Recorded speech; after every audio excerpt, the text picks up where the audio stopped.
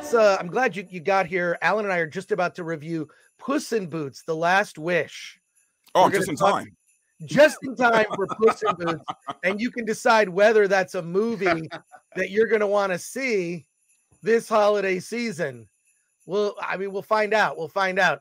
Um, let's see. I'm gonna put I'm gonna put Alan front and center here, and he's gonna tell us all about the story of Puss in Boots: The Last Wish. Because when I looked up Puss in Boots, there's like there's a Puss in Boots movie that was made a while ago, and it got yeah, which which I, I might have seen, but I cannot remember a thing about it. All right, tell us about Puss in Boots: The Last Wish. Yeah, so essentially, uh, we have Puss in Boots, uh, Antonio Banderas. He is uh, he is living his life to the fullest, and uh, what we find out is that uh, at the beginning of the movie, he is killed.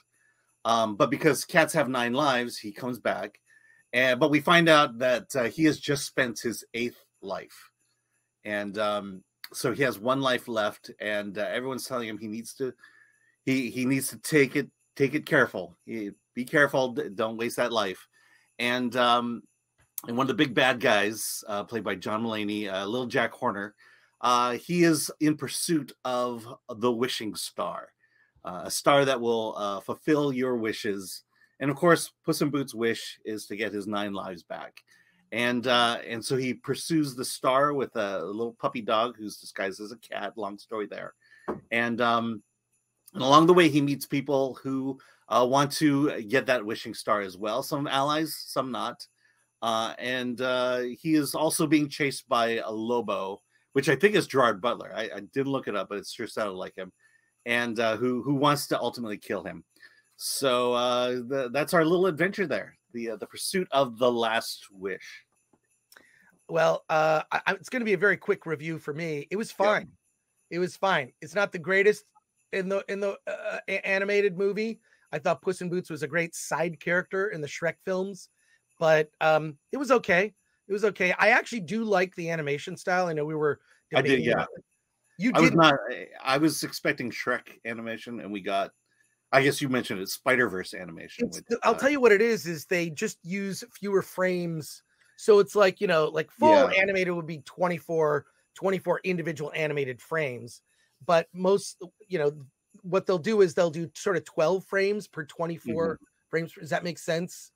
Yeah, but so it's inconsistent. That, that's my problem. it, it sort of makes it jittery. I, I don't mind it. I actually like it. It works in Spider Verse. It was fine here, and uh, the Jack Horner character I thought was funny. The other thing that was good was the um, Goldilocks and the Three Bears mm-hmm. was fun. That that was actually that turned out very bizarre and yeah. fun because Shrek is always like a twist on fairy tales, and I like that aspect of it. So look, it's fun.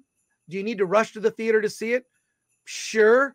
Uh, if you haven't already seen Avatar, maybe that's the one other movie you might go see. I did see Babylon again, and uh, I liked it better the second time. I quit. I'm serious. I saw it packed crowd at three. You, you, went from Puss in Boots to Babylon. I know. Puss in Boots. to, there's a song in there about pussy. Um, uh, you went from a kid's well, movie, which movie had the song about pussy? Uh, to a uh, movie Babylon. with two full-on orgy scenes in it. Right, right. no, it's. I mean, it's the the. I mean, it's it's intense. I liked it much better the second time. Still, the weakest part of that movie is the ending.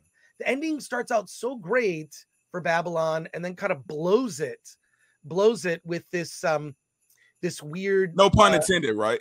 Right. Well, yes, I didn't mean it. I didn't mean that. But like, you know, it kind of blows it with this that uh, ending montage that goes. They show scenes from Avatar in Babylon, like bringing you from you know, freaking Salvador Dali, you know, and sort of early film to like uh present day, and it just doesn't. And then it goes into this weird sort of bleeding thing of like paint, like sort of drawing the analogy that you know, uh film is art, like painting is art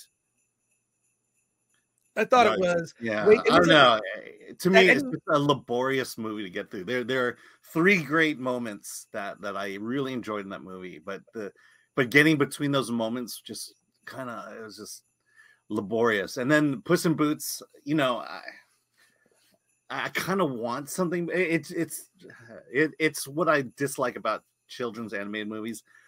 Um, it's just all action uh, there's fun in it, but you know, you kind of want something a little bit deeper there.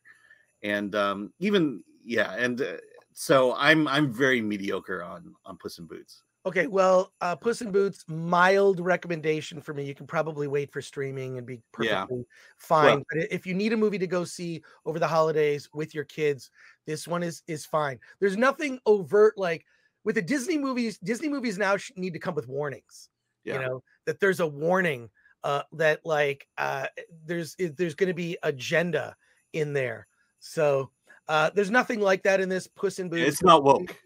It's it's completely But inoffensive. it- it's also not Disney, right? It's not It's Disney. DreamWorks. no. Right, it's Yeah, DreamWorks. DreamWorks. Which, by the way, I'm surprised it's still in business. I had no idea DreamWorks is even still around right now. Right. Well, it is. It is. But anyways, don't take your kids to Babylon. But Puss in Boots. There's our Puss in Boots review. I, let's do it. Let's. I do don't it. know, man. If you could take I your know you kids, slipped you can take your Babylon kids to into a track shows now. It's like, why can't you take them to Babylon, right? yeah, I know exactly. Okay, you know exactly. what? Yeah, you, 'cause you can show kids where they came from by showing them Babylon.